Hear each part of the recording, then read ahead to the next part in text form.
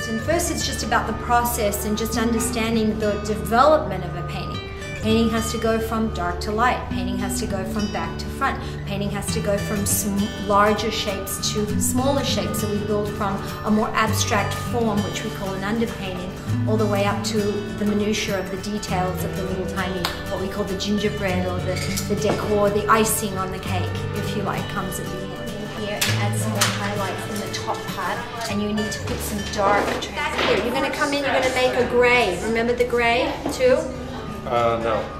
So the same gray that we were using over here okay. in so the it's two. You had it written on the page already. oh, okay. That Here you've got a lot of work. You can start to block these teeth in in a value four. Um, you know, you've got a three in here right now. It should be. That. Who cares if it took five weeks? Who cares if it took eight? When it's finished, it's a forever hmm. thing to enjoy. Mission Hills. I saw the studio, and you know, when I retired, I said, you know, I have time. I'm going to do it. So I walked in, and she was very nice, and the people in the class seemed to be enjoying it.